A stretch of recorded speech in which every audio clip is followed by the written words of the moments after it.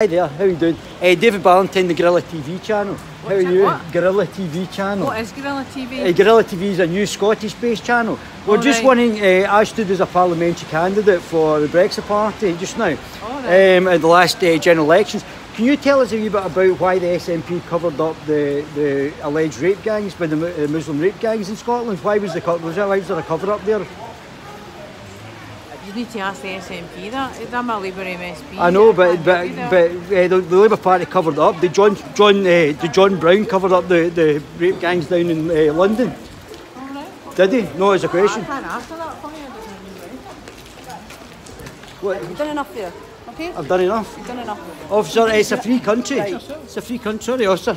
It's a free country, officer. This is what I told you, I'm a parliamentary candidate. I've not done Are you? anything wrong. Right, okay. I've not done anything wrong. No. They've got their own business to do, okay? Yeah, I know the, Don't the speak public, the public, the public officials. I never talked talked to them when they were talking to. them. She was walking away. It's all on camera. All right. Thanks very much. Freedom of the press, officer. You know what I mean? We're not living in a totalitarian system yet. Oh, I'm not press, are you? How? I'm sorry.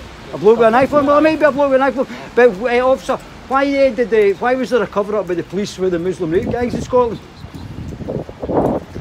Couldn't tell, but you saw it on the paper. The Sun actually covered it yesterday. annoying folk.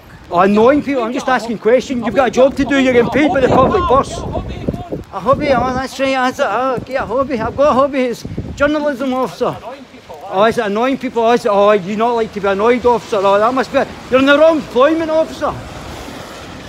Well, as we can see, the police obviously not wanting to discuss what's actually happening.